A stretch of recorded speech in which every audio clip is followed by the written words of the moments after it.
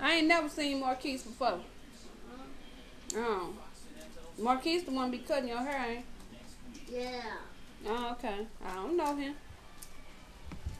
No, mama supposed to be cutting my hair.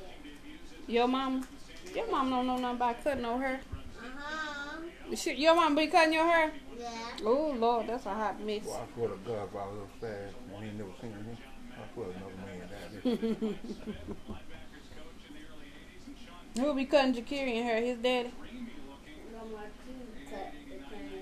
Oh, Marquise. What's your little sister name? I forgot. Um, Yeah. Delilah. Oh, okay. She's so cute. She got a spike in his head. Uh-huh.